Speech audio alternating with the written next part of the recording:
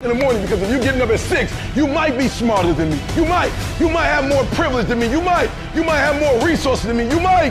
But I'm gonna get up earlier than you and I'm gonna do it faster than you do it. So by the time you get up with all your resources, by the time you get up with all your privilege, by the time you get up with all your stuff, I've already finished the race. Are you hearing me? It's hard. Yup, it's hard. Yup, it's difficult. Yup, why? Because the process is weeding out the weak. It's weeding out the weak. And so sometimes you got to play hard. You got to play physical. You got to play tough because the game itself is tough. The game itself is hard.